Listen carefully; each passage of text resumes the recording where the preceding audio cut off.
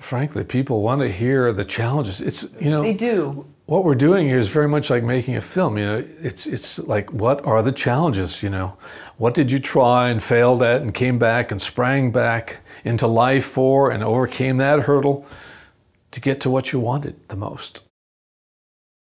When did you have the idea that you wanted to be a travel filmmaker? Ah, yeah, travel and filmmaking. It's a combination of things that is eternally exciting. Uh, for some reason, it's been uh, my uh, fascination, dedication, obsession since I was 15. Uh, I first went to Europe with a band uh, when I was in high school uh, for three months, and that got me hooked on travel forever. So when you travel when you're young, especially, it'll stay a part of your life for the entire run of your life. So I, was, I knew that I was wanted to see possibly every country in the world if I could possibly do it.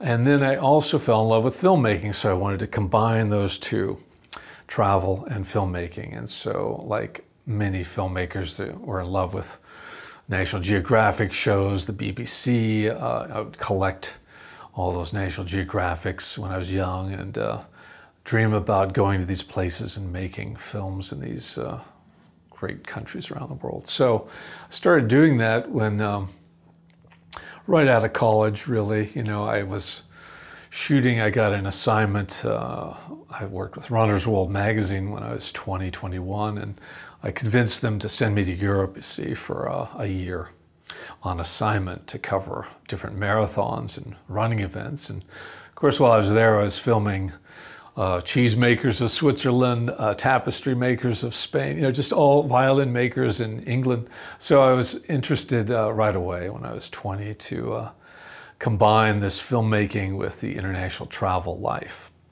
And I'm not sure where the curiosity comes from because uh, my mother's never been on a plane ever.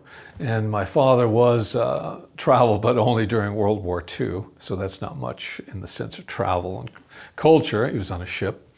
But my, uh, my brothers and sister were never that interested at all in travel. So I don't know why people are inspired to do certain things in their life versus their siblings or parents, but for me, it was always just a need to get out there and do uh, National Geographic shows or documentaries. And almost every filmmaker I've ever run into wants to do a feature film at some point, a dramatic film, a movie. You know, it's so romantic to do that in a sense when you're young.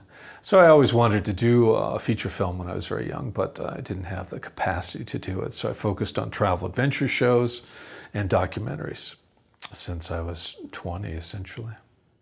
What type of temperament and mindset does a travel filmmaker have to have?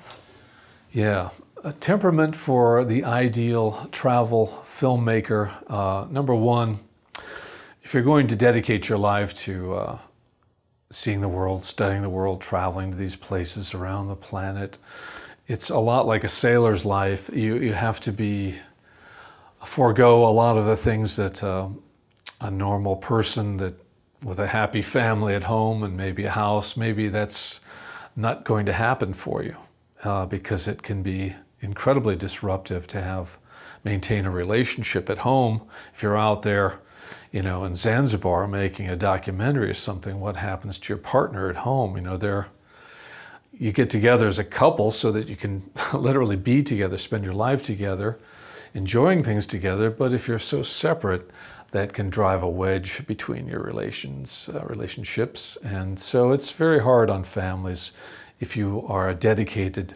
gypsy adventure filmmaker, unless you can somehow devise a way to travel with your uh, you know, partner, then that's ideal. Actually, then you take your home with you in that sense. But if you have family, if you have a kid or two kids or something, then that's almost impossible to do that as a filmmaker. So there's going, you have to make a deal with yourself to, uh, to figure out what is the strongest pull, uh, the biggest obsession in your life. If, it's, if your uh, need is to get out there and make films around the world, you have to make peace with that and not complain about that, not whine about it. You just have to go do that and follow your dream. And you just hope that uh, the rest of your life can stay in parallel or synchronize with that as you go through your life. Sometimes it doesn't work. A lot of filmmakers that uh, travel half the year in different countries of the world, they, it's almost impossible to maintain uh, that relationship at home. So there's a lot of divorces in this case with a lot of uh, people I know. Anyway, sometimes they just stay bachelors for their, all of their lives, you know, if that's what they do. Uh, filmmakers and photographers I know that travel for half the year or more. And, and dealing with peer and, and family judgment, I'm sure, is is something you know if you come back for Thanksgiving and oh yeah when are you going to settle down Marlin? yeah that's always a that's always a big uh, challenge isn't it when you get together at holidays with your family and each of the siblings and the parents are so different than you are and you're, you're the black sheep of the family and it's it's so difficult to even find a common ground of things to talk about topics you know and so yeah you, you definitely run into some interference at times from uh, from family members. Uh, but sometimes that's a, a, bit of an inspiration. In a way, my uh, father, even though I, I did uh, like him very much, I'm sure I loved him, but it wasn't this hugging kind of relationship. He was, um, like I said, he didn't understand what I was doing, uh, making films. He couldn't get his head wrapped around the concept of why are you making these films? How do you expect to make money?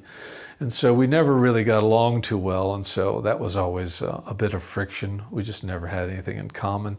But I looked at his life, though, as not a life necessarily well spent because um, I think he just get, got caught up in, in raising a family with four kids, and, and he was an air traffic controller. He didn't have any particular passion with that job, and he would work odd shifts, night shifts, graveyard shifts. So and then he got let go because of cataracts. And, and so I saw him as a very unsatisfied uh, man in later life. And I just, as a reverse model, I thought that was probably good for me to see that in the sense of I don't want to become the person just in the rock, rocking chair watching television when you're 50 or 60 all of your life.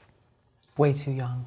Yeah, it does. It was very unfortunate to see that, but. Yeah. Um, but again, you know, just like any artist, filmmakers, uh, if you're obsessed with it, if it's something that you have to do, that's what artists do. They, they will paint, they will write, they will uh, do theater, they'll do dancing. Even if there isn't an immediate audience or immediate money for it, you are compelled to do it. And that's the same thing with a filmmaker. You better feel compelled and driven to do it. Otherwise, you better get out and get out now and choose another career because there's too many obstacles uh, to be successful uh, for a life of filmmaking, uh, money making, filmmaking. There's too many obstacles if you're not obsessed and strong and uh, have those blinders on. That's the only way a film will get done is if you or if your small little team are so driven to do it, it will fail if you do not um, keep your vision strong and clear, it will fail. There's no question. And uh, especially if you're doing something you think is very, very good, you know, just go ahead. And also, things will fail, and you have to maybe try again with something brand new. Yeah, that's true. Yeah, and that's again uh, the sense of if you are too focused on just one film, one topic, one project, if you're too focused and too obsessed with it, it uh, let's hope it works out for you. Uh, if it doesn't, for some reason, uh, it can kind of destroy your life or you'll give up. So that's why I, you know, again, it's it's wise to have a, a healthy uh, set of other options for stories available and nearly ready to go. If that one project that is your you think is your magnum opus, your masterpiece, if you're not able to do it this year, maybe take that second project and do it. You know, it's, if it's a little bit easier to accomplish, to assemble the team to do that second movie instead of that masterpiece you wanted to do, uh, don't worry about it. Just, just go ahead and pivot, pivot to these other projects and don't, um, you know, just don't say this is the only thing or nothing. That's not really a good way to go. It's not healthy at all to, to have that plan. So.